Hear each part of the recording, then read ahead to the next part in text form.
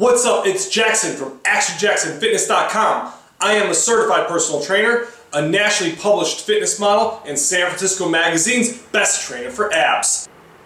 I am here to show you another meal that I can make with my quick cook method. takes only a couple of minutes. This is going to be Greek yogurt with fruit and granola.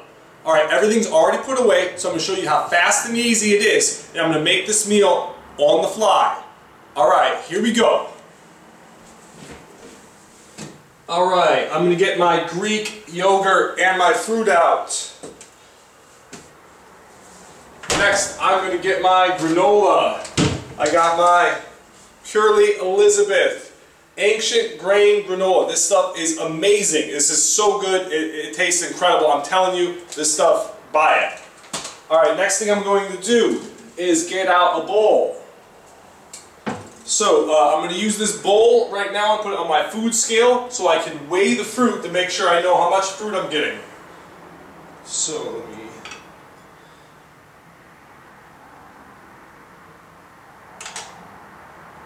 Alright, now here I go. I'm going to weigh the fruit. I'm going to start with some blackberries. I'm looking to get about two ounces of blackberries. There we go, two, 2.05 ounces. Alright, I'm going to set those aside. Now I'm going to weigh my raspberries. Again, going for about two ounces of raspberries.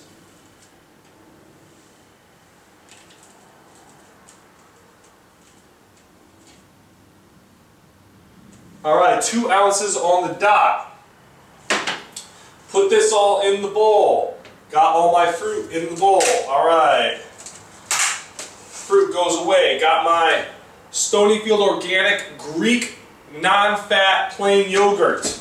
Don't buy those Greek yogurts that have all the kind of sugar, artificial crap, sweeteners, and fruit at the bottom. Those are no-goes. Don't buy those. Those are not good for you. I see that mistake all the time with clients. I'm telling you, that's not the way to go. All right, I got half a cup, measuring cup, half cup. Going to scoop out the Greek yogurt into the measuring cup so I can make sure I know exactly how much I'm getting.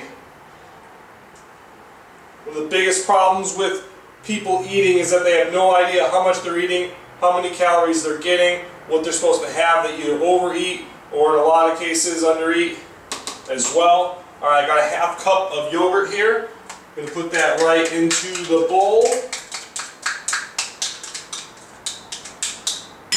Alright, that's good to go.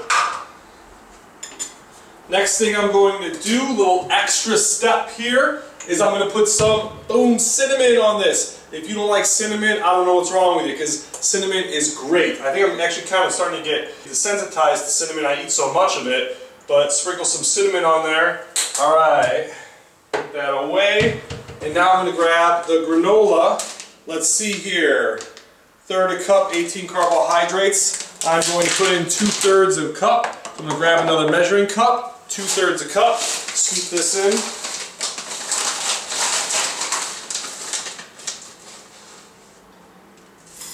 Dump it right on top. Close up this bag.